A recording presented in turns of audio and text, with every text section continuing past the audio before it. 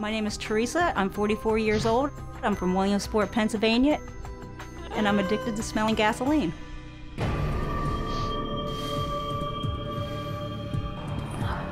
When I wake up in the morning, How do you uh, the first that? thing I do is I roll over, sit up, and smell my gas bottle. Then I'll get up, take another sniff of the gasoline, and then I'll come downstairs, and a couple minutes later, I'll take another sniff of it. Why don't you drink it? Teresa has been addicted to smelling goes. gasoline for over 30 years. She takes a sniff every 10 minutes and even wakes up in the middle of the night for a fix. Did she say? uh, Did he? Did he say over thirty years?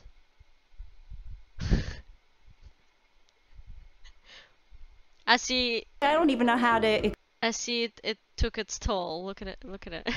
oh, it's so horrible. Look at over thirty years.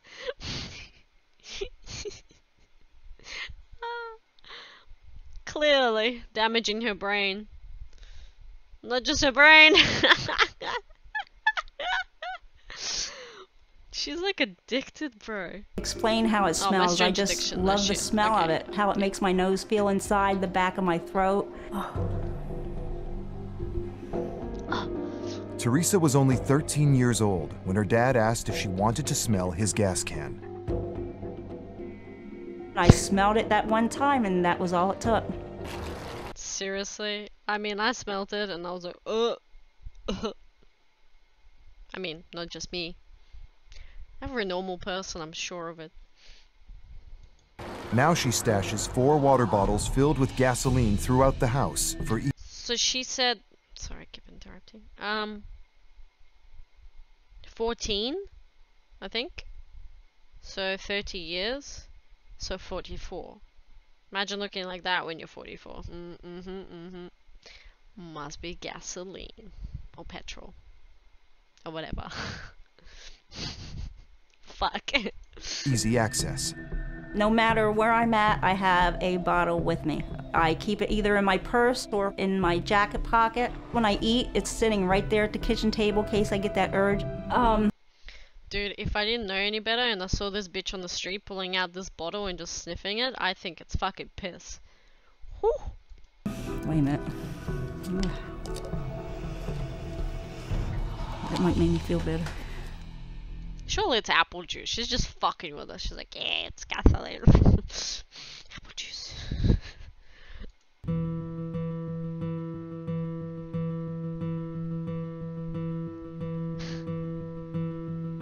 I walk in the door, the first thing that hits me is the smell of Wait, she has a boyfriend. What the fuck? I have no boyfriend for like six years now. This bitch has a. bo- gas. It smells like you're walking into a garage. And now we're smelling gas while you're cooking. And your point is, you don't like it, go it? upstairs. When Teresa doesn't have gasoline, watch out. Um, she does get very angry. Yeah, I what do you think wouldn't. it's doing to your health? What do you I- think I- it's I- doing to your brain? Or I don't know. I can't answer that. But I'm not going to sit here and have you throw it in my face when you know. You, I'm not throwing I- it in your I- I face. can I'm quit- just I saying quit. you've been saying I'm, that for years, but you're still smelling gas. Just you say I can quit? Bitch, you're fucking far. F- you you're deluded. You cannot quit, honey bunny. Teresa doesn't work and is supported by her boyfriend. She That's what addicts say. I can quit anytime. No problem, anytime. spends almost $400 a month on her addiction. me and Frank fight over it. You know, take the last couple dollars we have just to go get the gasoline can filled because I have to have my gasoline to sniff. I come to the gas station about twice a week. The more I go to the gas station, the fresher the gas is. I've Oh, she has a daughter. She has an offspring that looks like. Jennifer, Jennifer, fucking run, Jennifer. heard her talk about situations where she chose the gas over buying food or something like that. She just needs her fix. I'm had um, bitch, there's like starving children in Africa, and this cunt spends her fucking money on gasoline over eating food. Can someone look her up? had memory loss since about 1995. Because of my memory loss, I have to use, um, darn. Stop see? that identification. Stop. I have to use little psycho. notes and leave them tacked up on my steering wheel of my car, even outside of my purse sometimes. The past six years, I have had Oh, what's the major same? stomach problems. I've had anemia problems. To think about the gasoline could be killing her, it it just makes me just want to curl up in a ball and cry somewhere because I can't get through to her. Nobody can get through to her. I never really thought about going a day without it. I don't know if I could or not. I'm ashamed of it. That's why you seek help. I'm so sad that thinking about that she could die. Well, I don't know. What about doing something about it? Well, she doesn't want anything done about it. There's a thing called stray jacket. Put her in one of those. She can't. She can't do anything. Also chain her up so she can't. don't listen to me. Yeah. She just needs to know that she's very loved. She needs to stop.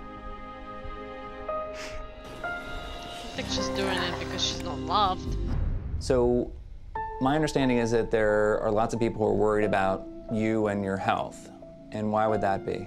I've been sniffing gas, gasoline for about 30 years now. For 30 years, 30 years. every day, Every day. I've been having a lot of short term memory loss. It started getting bad about 1995. I was getting lost when I drive. Uh, I'd misplace things. I'd let food cook on the oven, you know, just stupid stuff like that. You need to know from at least a medical standpoint that this is a very destructive thing. Gasoline destroys the covering to nerves and prevents the nerves from sending signals. Then not only do your organs attached to the nerves not work normally, but muscles also don't work normally. So it breaks down tissue just like a person is actually being burned by fire. And that's pretty much what's happening to you when you're sniffing gasoline. Wow.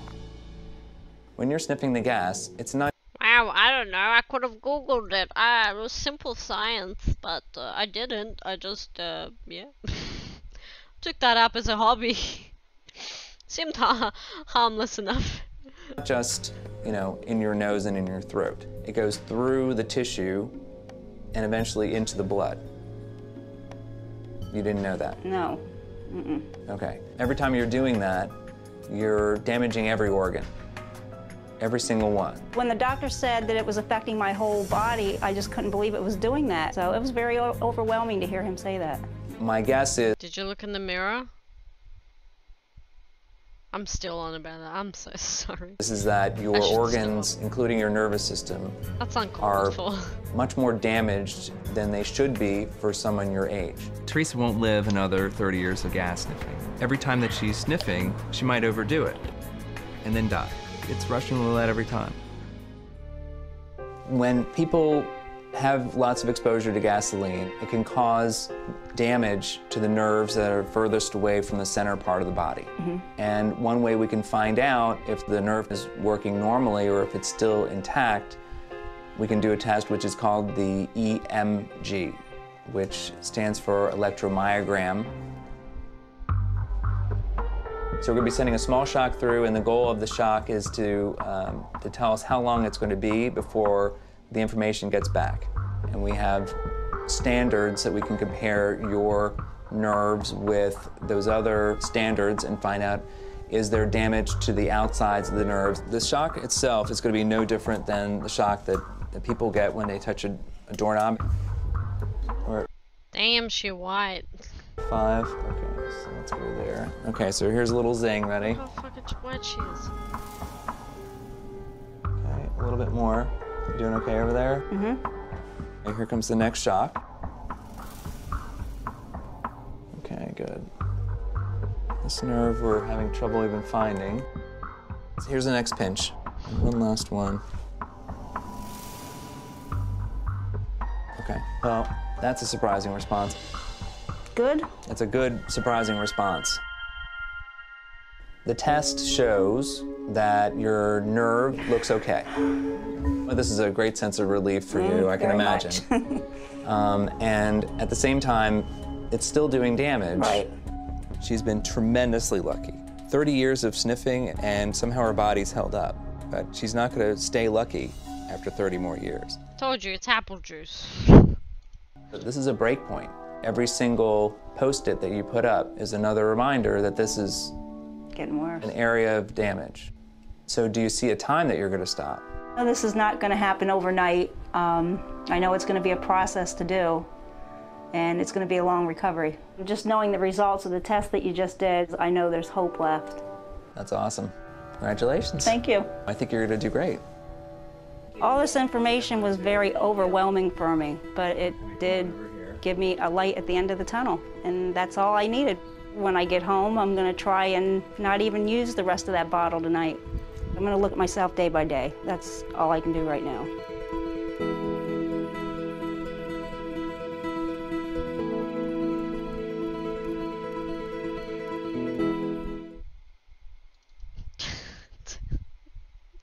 Well, goddamn. Her memory keeps getting worse. I don't know. It might not be the apple juice.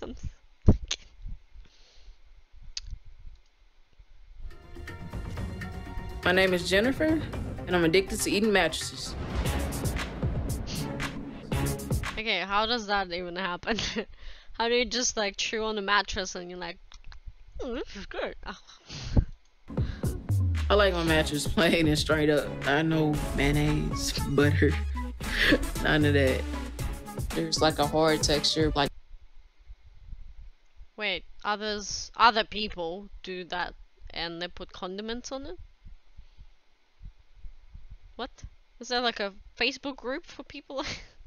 my taste buds to go, you know, kind of like like a guitar. When I found out that Jennifer eat mattresses, I was just dumbfounded. I was like, oh, it blew my mind that she did that. Fuck, I spat everywhere. I was like, oh. Bitch is crazy. Mom! I share the same genes. Am I gonna be crazy? What was that fly? Was that necessary? Eight matches. Hold on. I make sure like when my mom's not gonna be in her room where I could be in her room. So like let's let's say when she get in the shower, um tiptoeing in there to get it. Well, the reason Imagine you like. Imagine you get home after a hard day at work, you lay in your bed and you're like, oh, where's the fucking mattress? your daughter ate it.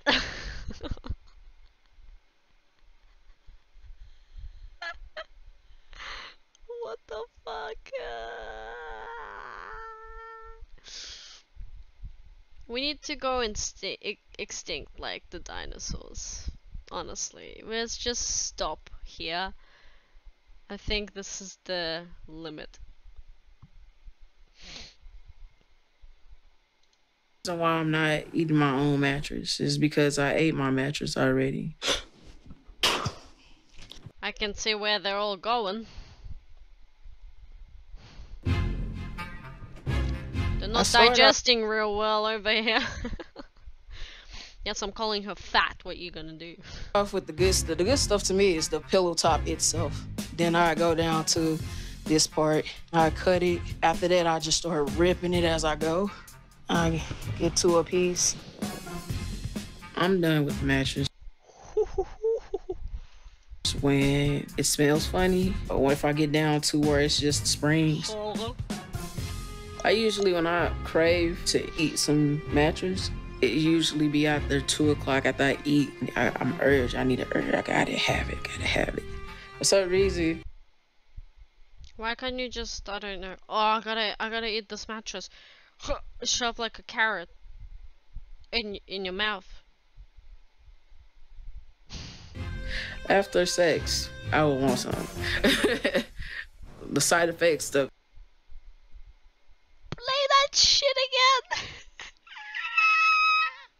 reason, after sex, I would want some.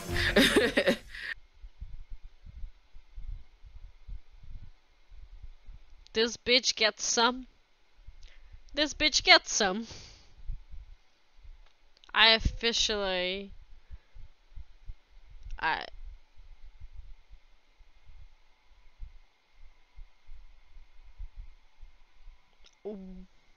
What? The side effects of even mattresses is gas is really the only one you have. It enters my body and leaves my body. It goes through my my system and goes out. I'm very concerned about her health and like her digestive system because I have seen it in the toilet. It comes out in whole, whole pieces. It was all the sponge that I was eating. I was like, it clogged up the toilet, like it's just sitting there. If I was that desperate to get it out, I could take it and wash it, do everything I did to it, and I could use it again if I wanted. If I was that desperate, it ain't that. I mean, ain't that strange. But you're pretty fucking strange regardless. That'd be a cherry on top, wouldn't it? Recycle your mattress.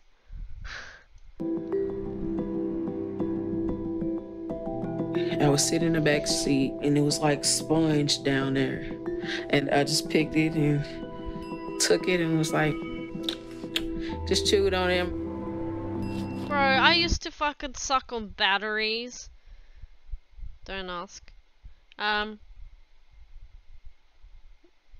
You don't see me fucking having battery as a lollipop for every after every dinner as dessert.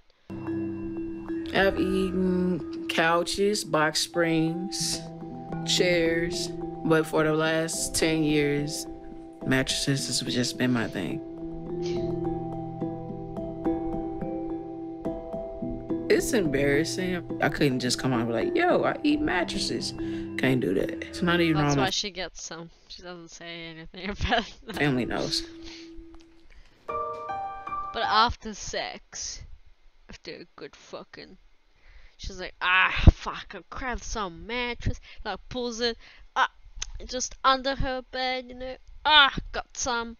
He's like, whoa, whoa, whoa, I gotta get the fuck out of here.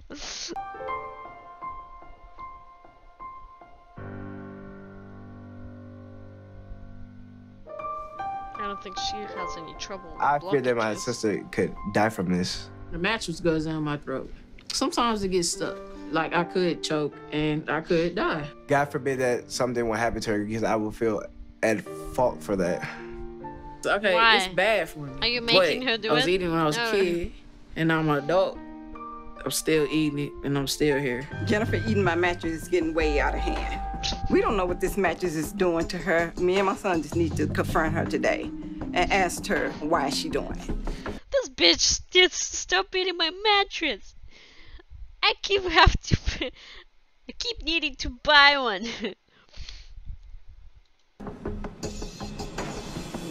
It needs to stop. They're expensive. They're also like really old school So mattresses. when you eat it, are you afraid of choking? No. She really bounced on there, huh? Is that why you be like all the time? Yeah, when I be like, it shoot out of my throat like a cannon. I mean, I've been eating for 20 years, ain't nothing happened. I didn't know you had been doing it for 20 years. Wow. And you don't think this hurting you? You don't worry about the chemicals that's in the match? No, Mattress? I don't. She's like sitting and full of chemicals. How do you know what mattress is made of? No, Right, but I'm, okay. I'm not here to attack you. Feel this mattress. I'm just concerned, and I, I don't want anything to happen to you. So if we go see a doctor, right, and they tell you that it's bad for you, are you gonna stop? And once you're addicted to something, it's hard to stop. I hope you try to not do it. Oh. Please. It's a at the point where I don't care. It's, it's not who cares, because we, we obviously care about you. Okay. I ain't, I ain't finna throw a, have a fight because you found out I eat mattress. Oh, well. Yeah, I gotta go.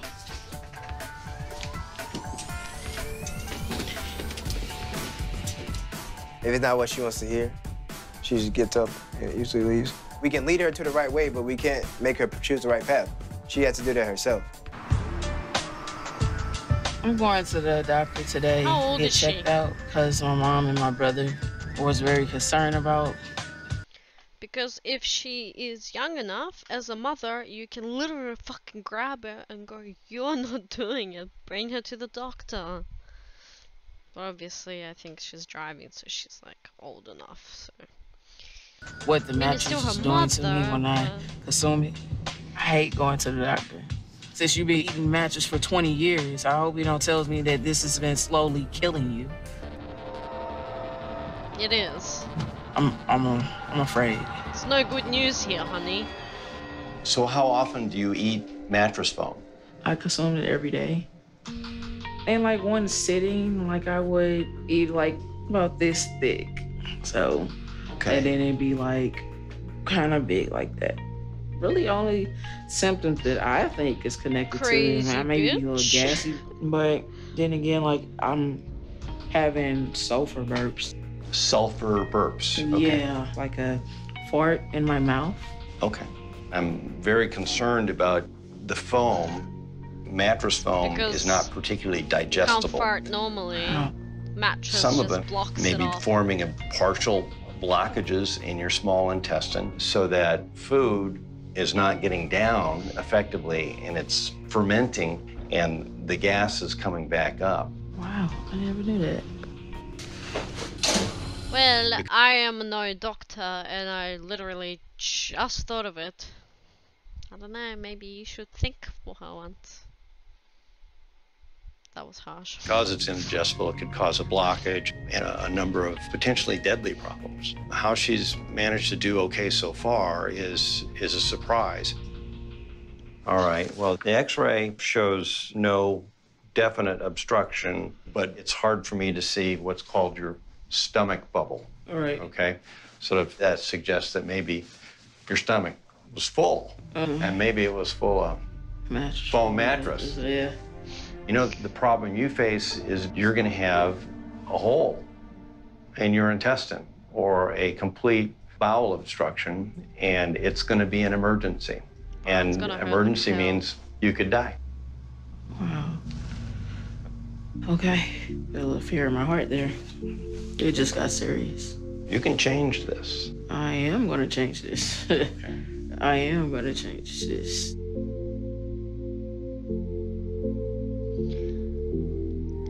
How their family told them that's not normal, don't do it. Doctor says, You're gonna fucking die, probably, bitch. Oh, uh, I gotta do something about it. Common sense.